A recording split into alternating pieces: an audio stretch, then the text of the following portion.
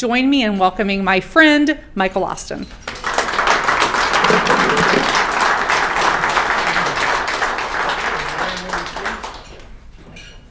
Well, thank you very much to the Wichita Pachyderm Club for, for having me out here. And, well, actually, first and foremost, thank you to, to, to, Joseph Elmore over there. He was the first one who gave me a call and said, Hey, would you be interested in coming by and speak? And I'd say I'd love to. And then that's kind of how we got the, the ball rolling. So it's a pleasure to be with you here um, again today, speaking about obviously the issues that we care about the most. Um, my name is Michael Austin, and, and as been discussed, I'm an economist. Does that mean I can tell you what the price of eggs is going to be next month? No, I, I probably can't. Um, what it does mean, and I'll use my wife as an explanation, every time she introduces me to someone, she says, This is my husband, Michael. He's an economist, which means he takes a very, very, very long time to explain the obvious. You laugh now, but I haven't gone through this presentation yet. Our conversation today will be about the Kansas state budget. Um, obviously there are many different facets and avenues that we can go when we talk about our government budget but something that i most certainly wanted to do was to do my best to uh, try to level the ground and try to make this relatively basic as, as possible. What is it about government that makes it so wasteful? Um, and then in talking about solutions we'll highlight um, something that americans for prosperity as well as kpi together worked on finding a way that we can make government more efficient. And so even though this is talking about state budget budget, I do believe that there are aspects of this that you can take to any of your organizations, be it public, private, not for profit, what have you. Well, let's start with a bit of a hypothetical. Let's say there's a private organization that's providing you bad customer service. It's upsetting you. It's not doing its job that it's supposed to be. What happens to that private organization? Loses customers, and if it loses enough customers, it'll it'll go out of business, right? What if there's a government organization that upsets its customers? Uh, does something badly, upsets the people it's supposed to serve. What happens to that government organization? Yeah, yeah, yeah. They get promoted. Who said that? Bingo. They get promoted, they get more money. Somewhere, someone along the lines will say, the only reason this program isn't working is because we haven't given it more money right? Now, I, I give that example not to say that a private sector solution is always better than a public sector solution. I'm gonna, I'm gonna push back on that. There are ideas that can come out of government that it could be just as good as the private sector. That's not where the problem lies. The problem lies is that in the private sector, you have survival of the fittest, right? You have adapt or die. In the public sector, you have expansion of the mistakes. And this brings me to a famous quote by uh, uh, economist Milton Friedman. Everybody know Milton Friedman, uh, Ronald Reagan economic advisor, uh, uh, free to choose, uh, great guy. He says this The problem with government is not in the things that it tries, but it's in the absence of having any mechanism for recognizing error. In other words, a private sector can have an idea, implement it, get feedback from customers, and then realize it's not a good idea. Whereas government will have an idea, implement it, and we still pay taxes whether it's a good service or bad. And other than the, the political interests, there's no way of government really knowing whether it's providing us a quality government service or not. So, our conversation today, if you can't read that, don't worry, I'll read it out loud. We're going to talk about the economics of public spending. We'll do a little bit of history. We'll learn from bipartisan fiscal mismanagement. We're going to talk about the burden of government um, we'll talk about a solution called performance-based budgeting, and then of course we'll end it on some solutions. Uh, economics of public spending. I am going to warn you right now, I teach uh, economics at Washburn University, and I cannot help implementing a little bit of a lecture, so you're going to have a little bit of a lecture in this presentation today.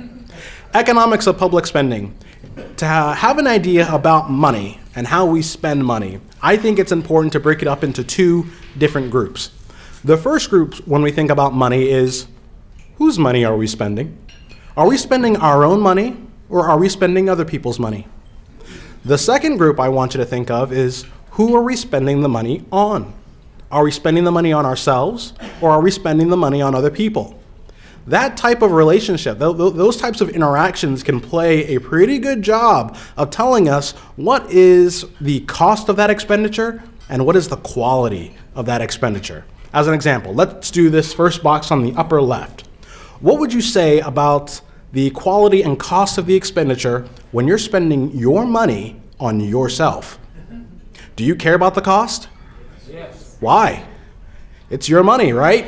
Uh, it's your money, so you care about the cost. Do you care about the quality of that expenditure? If it's you spending money on yourself, you do. Why is that? You're spending it on yourself. Now, what's interesting though is that now you have to balance that cost and that quality. So if you're spending your money on yourself, you are concerned about both and you're trying to find the best bang for the buck. Now, let's go to this one on the top right. What would you say about the quality and cost of the expenditure when you're spending your money on other people? Do you care about the cost of that expenditure? Yeah, it's your money. You, you don't, you don't want to ship out too much. But do you care about the quality? Now, some will say, yeah, you know, if I'm buying something from my wife, uh, I definitely want to make sure or do my best to make sure I give her a gift as happy as she can be. Um, and sometimes it does work. But let's say when it's not your spouse and you're buying a gift some, for somebody, do you care about that expenditure as much as if you bought a gift for yourself? Probably not. I mean, there's a reason why we buy gift cards for folks, isn't there? Right? to a certain extent, we say, I, I care, yes, I care, but I don't know exactly what you want. I'm not you, so here's some money. You, you figure it out. You're welcome. Happy birthday. Um, so, when we're talking about spending our money on other people, we are careful about the cost because it's our money, but we're not as concerned about the quality. Not to say we don't care, I'm just saying we're not as concerned as if we were buying something for ourselves. Let's go to this bottom left here. What would we say about the cost and quality of the expenditure when we're spending other people's money on ourselves? Uh, Jennifer just allowed me to get uh, lunch here at the Pachyderm Club. Um, I could have gotten myself a lobster. I don't even know if they served lobster, but I probably would have found one and put it on my plate. Do you care about the cost of the expenditure when you're spending other people's money on yourself? No, not really. It's not your money. Yeah, you may care because you, you want to be considerate, but you have to fight that urge. You feel the temptation. Um, do you care about the quality of the expenditure when you're spending other people's money on yourself? Yeah, you want to make sure you're getting a good time. And so when we're spending other people's money on ourselves, we are careful about the quality, but we're not as concerned about its cost. Do you guys see where I'm getting at here? So let's go to this last box. What would you say about the cost and quality of the expenditure when you're spending other people's money on other people? Do you care about the cost? Not your money. Do you care about the quality of the, ex- of the expenditure? No, you're not the one experiencing it. When you uh, spend other people's money on other people, you're not concerned about both its cost and quality. Pop quiz, now that you've had the lecture. Where does government fall? right? So when we're not careful, uh, government can be a wasteful distributor of funds because, I mean, just, this is our education system right there, right? The property taxes we pay are not going towards us, they're going towards kids. And our teacher, not teachers, but our administrators and our, our superintendents and sometimes even our school boards are not being held accountable to the fact that that money isn't really improving the academic performance of our kids. So let's learn from bipartisan fiscal mismanagement, unfortunately. If you can't read this, don't worry, I'll read it out loud. In the Great Recession, we had what I would call the boom and bust cycle. What does that mean? That means that when the recession came uh, and tax revenues plummeted, the legislature did not cut spending along with it. They maintained spending and even increased it. Uh, they didn't use their ending balances to absorb that impact. What did that mean? Well, when spending eventually collapsed, because I think the federal money went away, uh, the uh, state budget was definitely in a pickle, but spending had to collapse, but it collapsed uncontrolled. Of course, I want to see starving of the beast. I want to see a more limited government. But I think it really does matter on how you limit that government. You can't just chop off a leg and think that you're doing a good job, right? There are quality government services out there, and you need to be able to find out which ones are good ones and which ones are the ones that you should let go. And you can't do that when you have to immediately take a hatchet to the budget. Governor Sam Brownback, the tax reform era. I would call this the lack of spending discipline. We've seen um, over those four years or so since the 2013 uh, tax package, uh, budget gimmicks, highway transfers, um, uh, little increases of income or little increases in sales taxes to make it work, all because we couldn't get spending under control. And what eventually happened in 2017? We had to raise income taxes. Or excuse me, I don't want to say that. Excuse my language. We did not have to raise income taxes. We did raise income taxes. And it was the largest tax increase in state history, and that was only after the second largest tax increase in state history on sales taxes. Laura Kelly, I would call this one the burden of government. We now have the largest state budget in Kansas history, about $9.5 billion. And that's not even counting fees and federal money. If it did, well, you'll see that. You'll see how high that is. But even just the taxes that we pay goes into $9.5 billion of a state budget. Not only that, but Laura Kelly is now implementing the same budget tricks that she had derided Governor Brownback for using highway transfers, uh, swishing funds around, uh, slightly tinkering on raising income taxes and sales taxes. Now we unfortunately, you know, according to Laura Kelly, have our cake and eat it too, but we're seeing a large government budget with no reform in, in, in sight at all. Have any of you guys heard of the doctor by the name of uh, Max Gammon? This was maybe back during the 70s or something, he was quite, quite, oh goodness, I guess he wasn't profound. Um, okay. There was a British physician by the name of Dr. Max Gammon. His charge was to look at the British socialized uh, medicine, uh, medicine system, the uh, NHS, National Health System. And in uh, observing it, he came up with a theory. He called it the theory of bureaucratic displacement. Long story short, what he basically surmised is that the more overhead an organization becomes, the more bureaucracy it has, the more paper pushing seems to be done by its, by, by its employees. And when I say paper pushing, I don't mean productive work. I mean useless work. We just have to follow this rule because it's the rule, but it has nothing to do with our bottom line or has nothing to do with actually improving the health of the people we're supposed to serve, right? In fact, he described this bureaucratic process like a black hole, where he said the amount of input that we have, we're doing a lot of extra activity, almost like a star flowing into that black hole.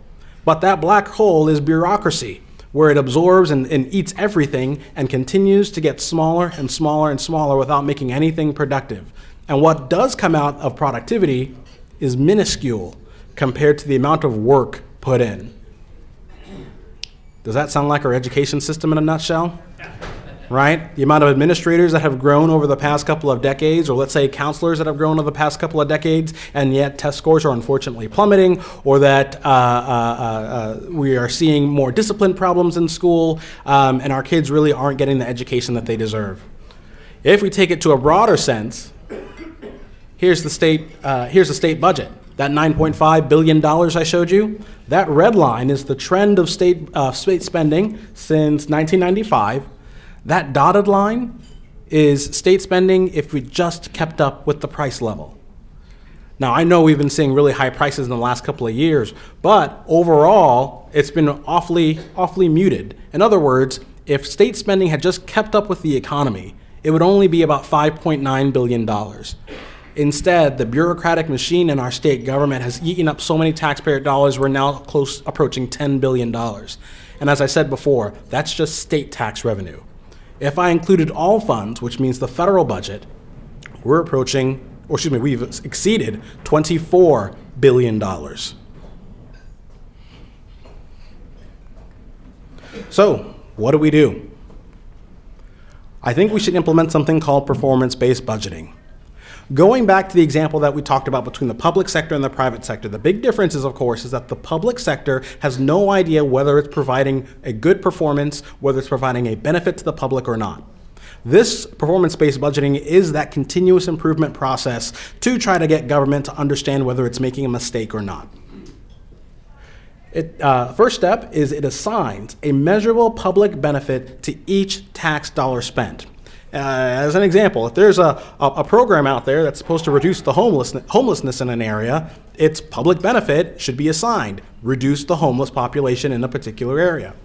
The second point, it insists that state agencies assign measures to ensure they meet such public goals. What should programs do in order to, as an example, decrease the homelessness population? Is it finding them jobs? Is it getting them uh, a job referral? Is it uh, uh, building skills so that they can get a job? These particular programs should figure out what goals they can personally reach to meet the overall goal of, let's say, decreasing the homelessness population. And then review that performance to assess whether the changes in that public benefit is meeting expectations all that work you're doing, does it actually affect that goal? If it does, continue doing it. If it doesn't, maybe that's a sign that you need to do something different. And use that performance review to determine the next year's appropriation. If you're hitting your goals, uh, you should, I think you have a strong case of maintaining the same amount of funding you've gotten before, maybe even increase it. But if you're not hitting those goals and you've seen an increase in funds, we should not be giving more money.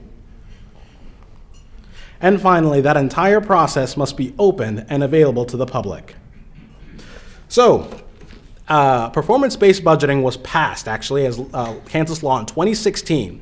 Uh, but as we know, Governor Brownback left office in 2017, and Governor Colyer barely had time to, to, to get anything done, unfortunately.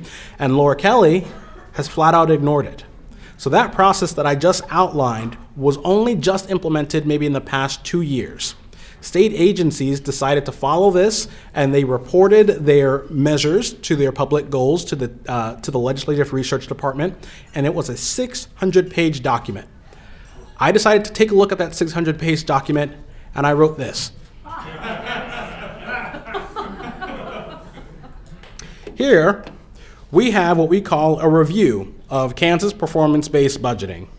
And yes, there are a couple of pages in here, but I think what's really important is I have two pages that basically list all the state agencies that I think were making unsupervised spending uh, in that 600 page report. What does that mean?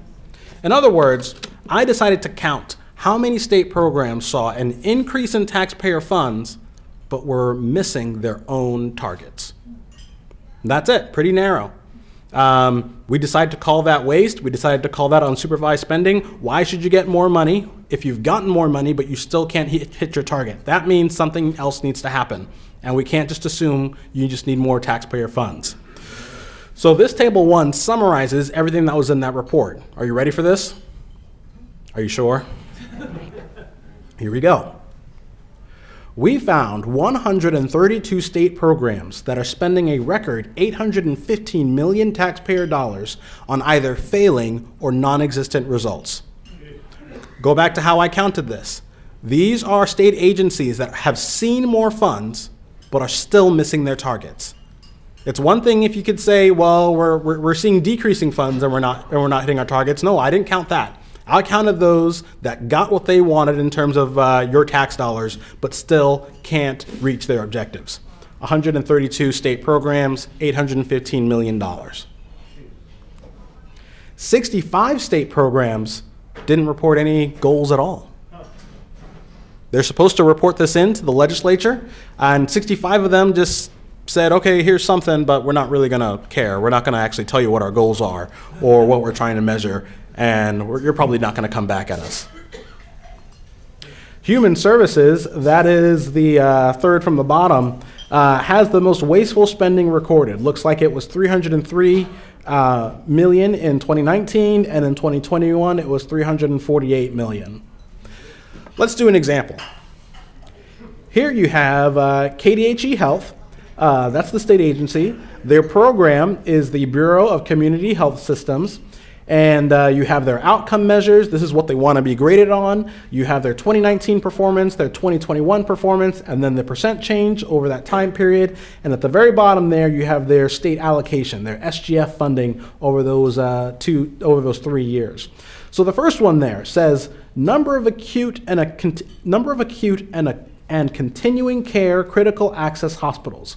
2019 they had 85 and 2021 they had 82. It decreased. The second outcome there, number of unduplicated patients served by state-funded primary care clinics. They should want this number to go up. That was 296,000 in 2019, 289 in 2021. It decreased. The third one here, number of instances of individualized technical assistance for local health departments. They would want this number to go up. They don't have any data listed. The last one here, number of cases submitted to trauma registry by hospitals uh, within 60 days of patient discharge. I think they want this number to go down, and I think it has. 14,000 in 2019, 12,300 in 2021. So I think out of those four there, there's only one of them that's doing its job or, or doing what it should do. But look at SGF funding. It grew 19.2% when three out of their four uh, outcome measures were underperforming, have not hit their goals, or are not moving in the right direction. So, what do we do? Well, we outlined a number of solutions uh, uh, in my report here. The first thing we can do is maybe require the governor to provide a written report on performance savings and where the funds will be allocated. She does this to a certain extent every uh, beginning of the session, which are a budget report. Maybe included in that budget report should be a review of state agency performance.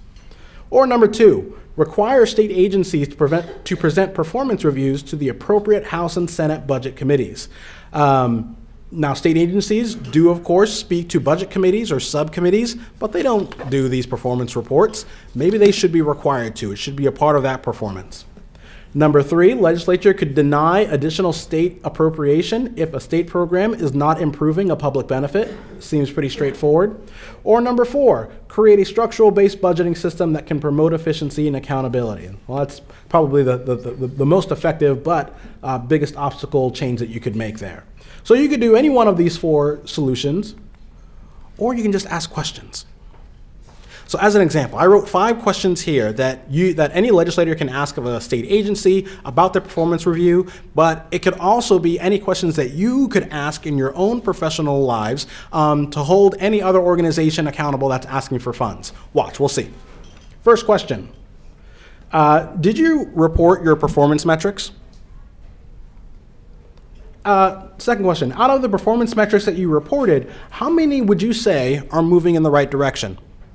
Uh, has your funding allocation increased in the last so and so years of the program? Uh, can you explain how the performance metrics directly improve that bottom line, or is that not the goal? and five, if a performance metric is underperforming but you've seen increased funds, why should this, why should this committee appropriate more money? You can use this in any way, shape, or form in any organization, public or private. Do you have, uh, do, what are your activities to reach your goals? Um, have, are you reporting that? Are you being transparent in those measures? Um, uh, uh, has your funding gone up? Uh, is any of those uh, metrics moving in the right direction? And then, of course, if they're not moving in the right direction, but we've given you more money, why should we continue to give you more money? What solutions do you have in place to do something different? That should spark a conversation. And so we've been taking these questions to uh, the House Appropriations Committee, the Senate Ways and Means, to legislators um, in subcommittees, you know, making sure that they're prepared to ask these questions when state agencies come asking for more funds. And we've seen success so far. So in summary, without checks, government is an inherently wasteful and expensive distributor. There's always a good quote that says, The burden of government is not measured by how much it taxes you, but by how much it spends. If Kansas lawmakers don't want history to repeat itself, it should find ways to reduce those wasteful spending programs so Kansans can see long term relief. Because fiscal responsibility is about returning more resources to Kansans without burdening them with more debt, rules, and future taxes. And that way, Kansans can have more freedom and live closer to the American dream. Thank you.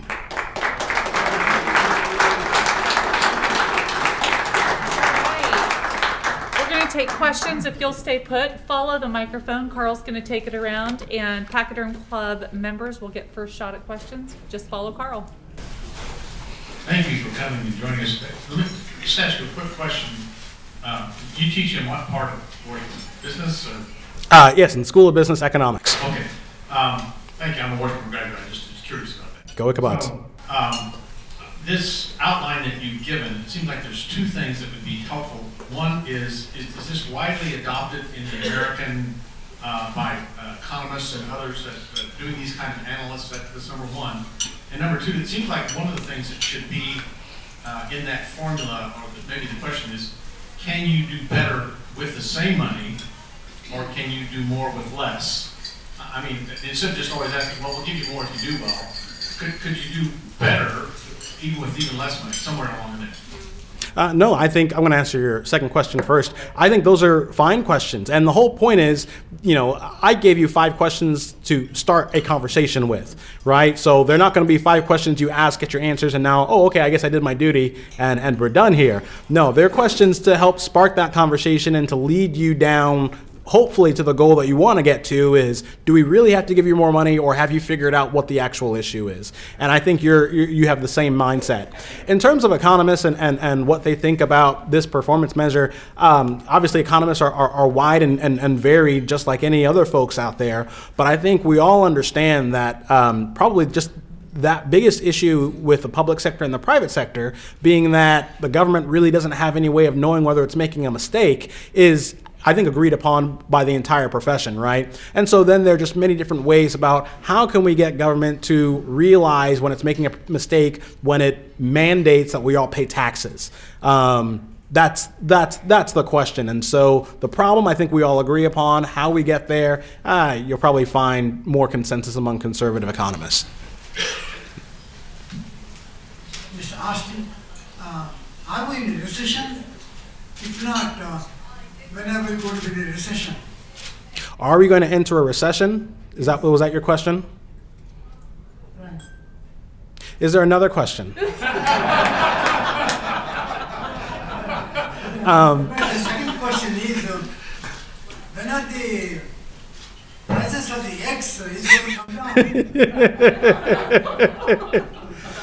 I cannot. I, I cannot predict anything. Um, okay, I'll, I'll give you. A, I'll give you. A, I'll give you two answers. Okay, there's a reason why God created economists, and it's to make weather forecasters look good.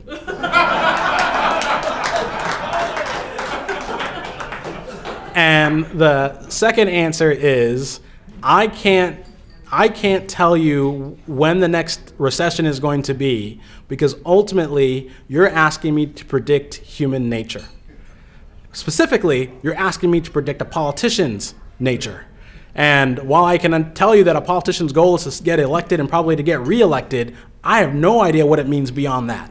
Right? And so, um, part of the reason why it's so difficult to, to predict things like this is because ultimately you're trying to predict what gr- a group of en masse people are going to um, are going to do that's going to cause a recession. And let's be honest, if I knew what they were going to do, then we would probably wouldn't have recessions. So recessions inherently are because of human nature trying to find you know the the, the best the best solution to a problem that might actually have an inefficient or a bad outcome. But we would never know that it's coming until it's here. Michael, thanks for being here with us today. You mentioned the base state budget was nine point five billion, and you mentioned also the all funds was twenty-four billion. Would you explain the difference between those and, uh, and where does that extra money come from? The biggest difference, thank you very much, uh, John. Uh, the biggest difference is uh, fees uh, that will probably go into all funds. So, particular state agencies don't get tax revenues, they just issue fees. I believe Wildlife and Parks is largely uh, function that way. And then there are other state agencies that are largely derived based off of federal funds. So, that would be the Department of Commerce. Uh, Department of Labor, I believe, through their unemployment system, largely gets funds from the federal government. So that's those are the biggest differences. Yeah, the government had a lot of COVID funds flow into it, and they increased budgets for different agencies. How do you see that being rectified now that the COVID funds are going to disappear? Um, good question. So we're seeing that to a certain extent now. The, the, the state surplus, eh, I don't know if you've heard the news, Laura Kelly is saying that we have like a roughly $2 billion surplus um, in state revenues, and that's the biggest that we've ever seen. That's the COVID money. Not necessarily COVID money given directly to the states, but the PPP loans that we've gotten, the unemployment insurance help that we've gotten that wasn't stolen by Nigerian princes. Um, uh, that is all the federal dollars that have come into our pockets that we have now either spent or paid in taxes entering state coffers. And it's not unique to Kansas. They're seeing it in Tennessee, Alaska, New York. Every state government is now is flush with cash because of those COVID funds that we've seen on both President Trump and uh, President Joe Biden. Um, so what does that mean? That means you, we have to be very, very careful, of course, on what we spend that money on. Uh, I run, uh, outside of AFP, I run a consulting business and, and working with localities. And one of the things I, I, I preach, of course, is that you have to use one time money for one time expenses right? So uh, don't take that money and let's say give everybody a raise that you now have to maintain. That's going to be a recipe for disaster. That boom and bust cycle that I talked about with the last recession would exactly happen with that organization. Spend it on one time things that don't have any ongoing presence. Uh, and that includes uh, tax relief as well. If you're going to make a tax relief package out of that, then make it a temporary thing, like maybe a property tax rebate. Um, not only that, but because it's so much money, I would I would wager, I can't predict anything, but whoever is the next president or whoever takes control of Congress is going to be looking at those federal funds and pushing for audits. And if you've taken that money and you've, let's say, commingled it with things you shouldn't commingle it with, or if you spent it on things you shouldn't be spending it on, you now have a big target on your back. So be open, be transparent, silo that money, and if you're going to spend it, only spend it on temporary and on one time expenditures.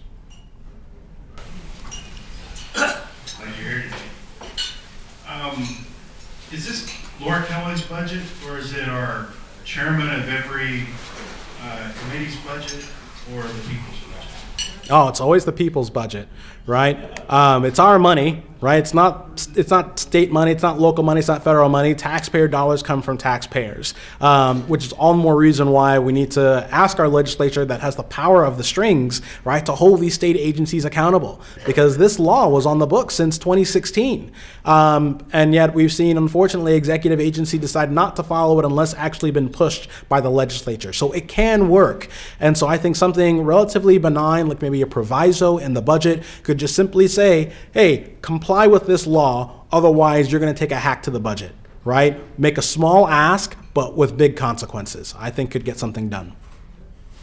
What government agencies um, are working with you on your report? Government agencies? Yeah, no.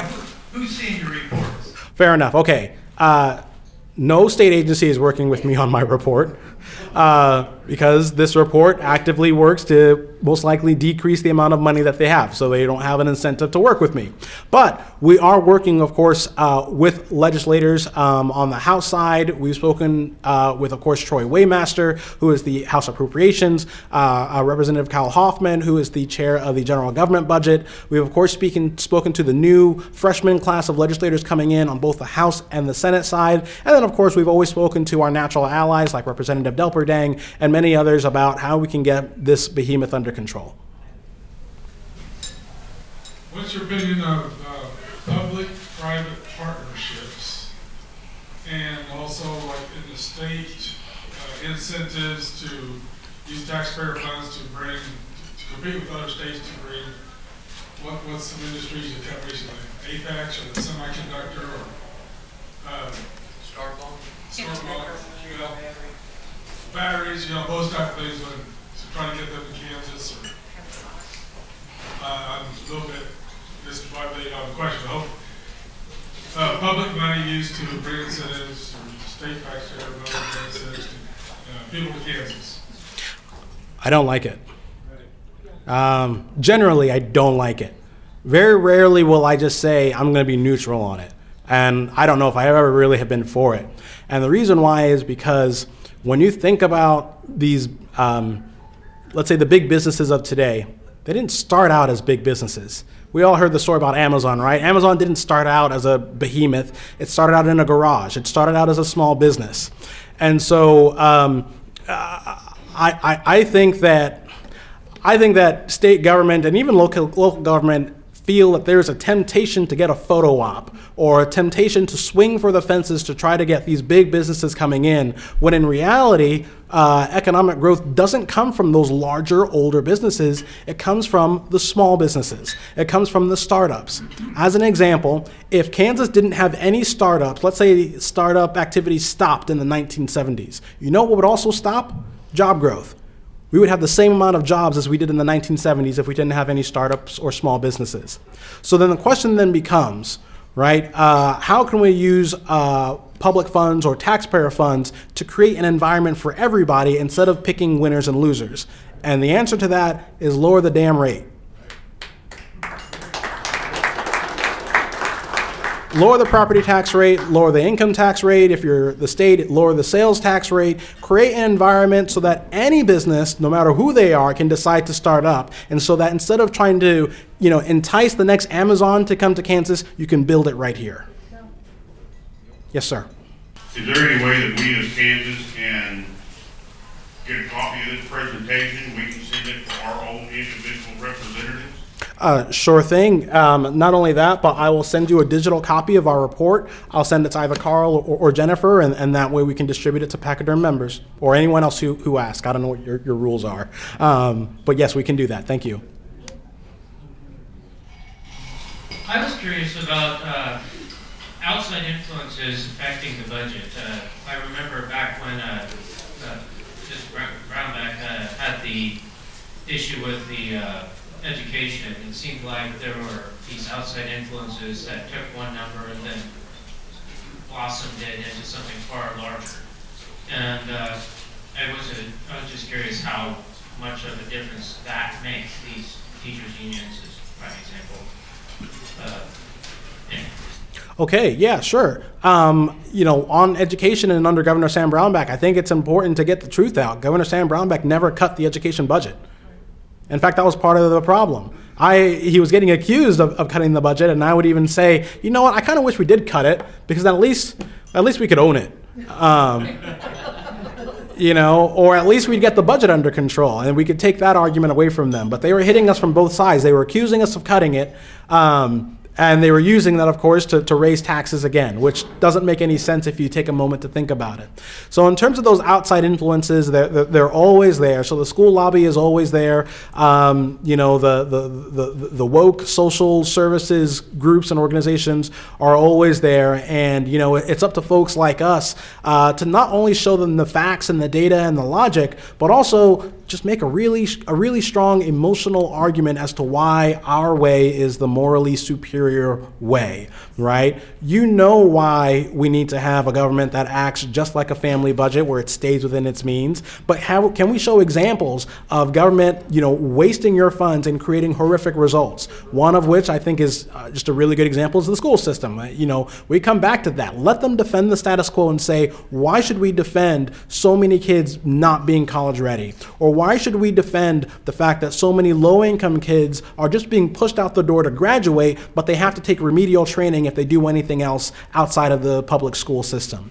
Um, I think pushing back on these types of outside influences can say a lot. We've seen that a lot with the with the school choice issue, right? Um, we're making them defend the fact that public schools, by and large, are doing a, a, a really bad job, um, and now we're using that as an opportunity to put some change into the system and give parents the, the power and the resources they deserve.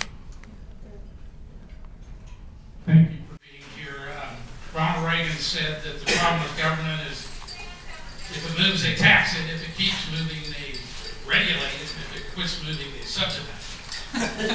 but my, my question to you is the, the federal government is within a few years of the interest on the debt being the third largest line item after Medicare in Social Security.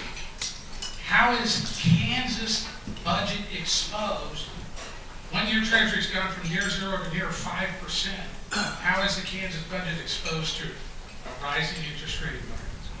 Uh, thank you very much. Well, when we're thinking about the federal government budget, we have, and we have asked our representatives and senators up in DC to cut our taxes, but don't touch spending. I mean, let's be honest. This is what we have asked. Yes, there are some of us that have asked for federal government to be smaller, but that's uh, a very small minority. We have largely said, keep spending going, but don't raise my taxes. And so naturally, DC has, has, has obliged. And what has that led to? It has led to inflation, the stealth tax, right? Where your purchasing power has gone down, effectively like a tax increase on your wallet. Um, where you can now buy fewer and fewer goods and services. And the same thing is now being exposed on our, our state budget as well. When we ask our state legislators to you know, maintain government services, just blanket, right? And we don't give them a tool about how they can do that efficiently, and then we say, but don't raise my taxes, we're also asking for the exact same thing. So in terms of exposure, uh, interest rates is, is definitely one way that it can come down, but it can also come down through inflation as well. And so I really think it's important that whenever we do this tax reform, we need to find a way to pay for it.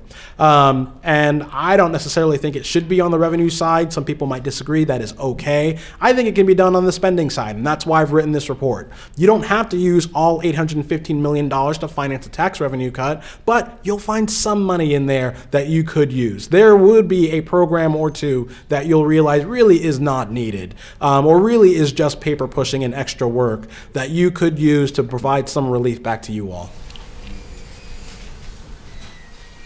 Michael, thanks for being here. Thanks, Deb. Um, how do our schools, which is our largest spending, are they following performance-based budgeting? Oh, that's a good question. And the answer is I did not include them in this report. I think they were excluded from the performance-based budgeting. Universities are in here, but not the K through 12 uh, education system. Now, I don't know about the politics of that. I have a pretty good idea of how that came to be. Um, but as we all know, if, if Dave Trabert from KPI was here, you know, he could have a whole presentation about all the different types of efficiencies, depending on how you want to define it, that's happening in our school system. Whether it's the amount of cash they're just sitting on and not spending, whether it's the reallocation away from the classroom to more counselors and more administrative bloat, or whether it's the fact that just outcomes are just moving in the wrong direction uh, when you compare it to the national average. I, I don't have enough time to tell you all the different uh, efficiencies and, and, and waste that we're having in the school system, but we all know it's there and we should hold folks accountable for it. Yeah, according to our KPERS, how are we doing according to the 50 states? Oh, good question. And unfortunately, I wasn't prepared for that one, so I'm going to have to speak in a bit of generalities on that. We are most certainly improving on it, I believe. Oh, wait. We have, no, do you want me to call on you? No? Okay, I'm not calling on you. Okay. Um, I, uh, we are most certainly improving. I know we had one of the worst, um, uh, worst stressed uh, retirement systems uh, in the country, uh, but thanks to our, our, our, chair at the time for House Pensions, who is now our state treasurer, Steven Johnson, um, he has most certainly worked to improve that. I believe we are still around average um, so there are definitely more ways that we can improve. One of which is, of course, stop assuming such a high rate of return. Maybe we should, you know, adjust that down a little bit more towards reality. And then I know I've heard from folks about KPERS 3 most certainly needs some work. Um, and I think that's an appropriate discussion for the legislature to have about how we can improve that particular subset of the retirement system. I've got a two-part question for you. Um, really appreciate all the details you've had here in this model you've put together. Is any other state following the budget model that you've outlined here? Second, second question I'd like to have you explore in detail the difference between the general fund budget of about 9 billion, the all funds budget of about 24 billion. I know the highway program is off budget and then, and then all funds, and federal Medicaid spending, mm. which has been a big budget buster, is in are not part of the general fund and make up part of that difference. Can you go into a little bit more of the detail in terms of how much of that uh, between Medicaid and, high, and the highway program? Because many other states put their highway program in their general fund, and Kansas doesn't for some reason. And that's been a perpetual football being kicked around up in Topeka. Any insights you could share on that, I'd appreciate. Thank you. Well, thank you, Carl. So, in terms of whether other states have implemented this process, um, to be honest, I do not know off the top of my head. When I put this report together, what I was looking at in terms of uh, areas to mimic or copy was actually the state of, not state, the country of New Zealand. Um, New Zealand back in the 90s and early 2000s had a, a real economic boon, and part of that boon was uh, uh, their legislators as well as their, their prime minister really took an effort to implement this type of performance-based budgeting throughout the whole nation. Um, funny story. So uh, I can't remember the prime minister, uh, but when the prime minister took office, she had, of course, not she, he had cabinet heads, and uh, he had the cabinet heads in the room, and he said, in one year. I want you to take all of your agency spending and rank it. What is the most, what's the highest priority? What's the lowest priority? You have one year to do it. If you can't do it in a year, I'm going to fire your second in command. After that first year, uh, had another meeting with those cabinet heads and said, now that you've ranked them, um, I want you to assign a public benefit for each one that you have ranked. Why is it important? Why does it? How does it help? You know, everyday New Zealanders, right? You have one year to do it. If you can't do that, I want to. I'm going to fire your second in command, right? So these small asks with large consequences, right? Uh, really motivated uh, state agencies to kind of get their stuff together. And, um, and what's nice about that is that if you rank your priorities, then let's say you have a recession, you already know what you need to get rid of you already know what's important and what you know you can do without. You work from the bottom and you and you work your way up depending on the severity of that recession, which is not what uh, other nations or the state has done. And then to your other question about the highway fund and Medicaid, you're exactly right if I could group those things together, it's really about maintenance of effort, right? Or matching funds. You know, so the highway fund is a mix of both federal funds as well as our sales tax uh, that goes into it. And part of that is because the federal government has said, if you give us 100,000 or if you spend 100,000, we'll match that, or maybe even we'll double that. And that has largely led to the big imbalance between uh, the state budget and, of course, the all funds budget. And it's most certainly true even when you look at Medicaid. I don't know the actual numbers off the top of my head, but I know that is functionally why the divergence is there and has gotten bigger over the years.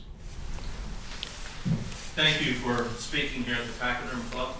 I have a question about subsidized housing. I think that both the state and the city government and county government gets involved in that budget. Um, do you have any words of wisdom for making that system work? We have a growing number of homeless people in Wichita. I understand now they're going to build some more small housing, but yet we have um, housing in South Wichita that uh, I understand is about 80% vacant and you know all torn up and, and, just a waste of taxpayer money. So do you have any anything uh, to advise the uh, office holders about how we can effectively or more effectively use that money? And then at the end, just for fun, give us your best and worst about Adam Smith and your best and worst about uh, Milton Friedman. Okay. All right. And when it comes to housing, um, I would say there's a there's a quote from uh, Thomas Sowell, the the economist, and he says um, something along the lines of I'm going to misquote it is that one of the things you'll always hear from critics is how would you make the system better, right? And he goes on to say if I put out a house fire, I don't want to hear what I'm going to replace the house fire with. When we're talking about subsidized housing, that in part is the issue right? Because what you're doing is you are mandating prices below what the market would set it at, and it creates, unfortunately, lower quality housing. It creates uh, it creates all uh, uh, builders to work to lobby the government instead of building more homes. If you want to build more homes, find a way to make it cheaper to build uh, build more homes. Decreasing regulations, make the cost, you know, find ways that we can get government out of housing, uh, find ways that we can encourage more people to come into the area, and that way you have both supply and demand forces, which will be stronger than any government program in order to create more housing. We have a housing crisis because it is expensive to build homes. That's the focus. Find ways to make it cheaper and more affordable than to just mandate certain amount of homes be built at a certain price level, because then you'll get bad quality and bad results and you'll never fix the issue. As for um, my uh, favorite and uh, worst things about Adam Smith, I don't know. I, I uh, you know, uh, I wasn't around when he was around. Um, so it's not like I can um, speak to, to experience here. Um, you know, one of the uh, well, and I think it's probably in general is is the thing about economists is that we have ways that we speak to the general public, and then we have ways that we speak to each other. Um, and the way that we speak to each other, some most economists out there think that everybody else can understand them. So the worst thing I would say is that even with Adam Smith, um, is it's it's it's a working it's a work in progress of how we can find ways to communicate the the fundamentals of what we learned about economics so that everyday people can understand. Because clearly we're in our situation because more people need to know economics and need to follow it. But the best thing of course is that economics um, and i tell this to my students is is is a way that you can understand so many different other, other subjects um, without necessarily having to learn it. And that's because economics is the study of human nature right? So yeah, math has certain rules, but whether it's psychology, public finance, uh, uh, education, you understand, you know, how people behave under scarce resources, and it gives you the tools to try to almost work with any type of problem that, that people are dealing with today because of that background. So I, I would say that's the best thing I've learned from the two. Very good. Michael, can you walk us through, well, the chamber introduced um, the flat tax legislation. Can you walk us through your thoughts on that and where that stands? Sure thing. So uh, you're right. The Kansas Chamber did introduce a, a, a single tax rate, a flat tax option, and um, I actually this kind of even goes back to Milton Friedman again. Uh, one of the policies Milton Friedman most certainly advocated for on the federal level was a single tax rate with a large standard deduction. So uh, obviously, a, a single tax rate makes a lot of sense. You know, if it's 5%, you just take 5% of your income and, and boom, that's your tax rate. Pretty easy to understand and calculate by yourself. Um, but then, if you want to think about for those low income, you want it to have an increased standard deduction so that if you are low income, you don't even have to worry about you know paying taxes. Period. Um, that was his ideal, and I think the Ch- Kansas Chamber had uh, had that exactly in mind when they proposed. I believe it was House Bill 2061, which did exactly that. It implemented, I believe, a 5% tax rate, and it, it increased the standard deduction for individual filers to $15,000. In other words, if you make a minimum wage, you don't have to pay state income taxes. If you make above minimum wage, you just got a pay raise, right? Um, so that is what they introduced in the House. It has died a bit in the House, and it has been taken back, uh, uh, picked back up in some way, shape, or form in the Senate. In the Senate, it's a little bit different. In the Senate, they have a 4.75% uh, single tax rate, but they, they, they barely touch the standard deduction. So um, I think it most certainly needs a little bit more work. I want to see an increased standard deduction because I don't want to see our most vulnerable Kansans taxed. Um, uh, uh, but I think if we can get those things in, oh, and one more thing whenever our revenues are beating expectations, instead of that easily funneling into the budget, it should funnel back to the tax rate, right? So if those revenues beat those expectations, lower the tax rate with it. And I think other states have done that, and I think it's time we follow suit. Good. Thank you, Michael Thank you. Thanks, everybody. Have a good weekend.